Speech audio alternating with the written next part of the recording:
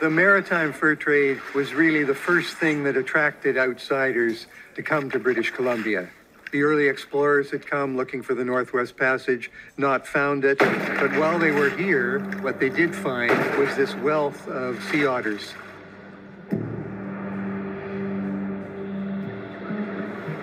Captain Cook arrived in 1778 and it started significant changes immediately. He stayed for a month.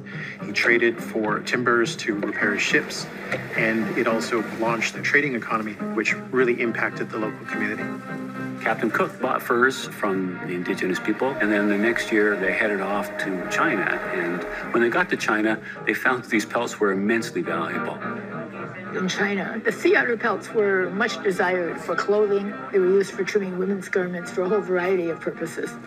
Sea otter furs, which are the densest fur on Earth because the sea otters spend their whole life at sea.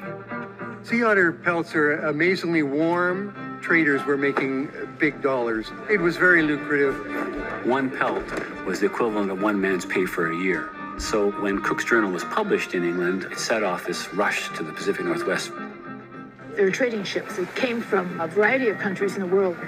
There would be dozens and dozens of boats during summer season on the coast, and the early explorers began trading from the local indigenous people who actually captured the animals. And so that means that indigenous people really learned about outsiders because the fur trade was the first white presence in British Columbia.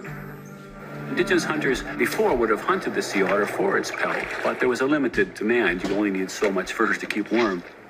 What Cook did and subsequent traders was connected the West Coast to a global market. And that market was inexhaustible in terms of demand for fur. It was one of the most historic, wasteful hunts that you can imagine because nine out of 10 sea otters were never recovered. They would shoot the sea otters, and nine out of 10 would sink and disappear. One out of 10 was taken back and sold for great money in Europe. The result was that sea otters were reduced almost to extinction. The animals, of course, survived in other parts of the coast, Alaska, California, but were virtually wiped out here on the BC coast. It's the first example of uh, overexploitation of resources, which is unfortunately a pattern that we see repeated again and again through the history of the province.